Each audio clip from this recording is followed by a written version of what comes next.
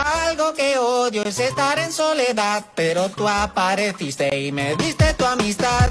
Por eso amo tenerte junto a mí, con tu mera sonrisa yo me siento más feliz. Para mí que solo había depresión, entraste a mi vida y me diste una razón y desde ese momento hasta este.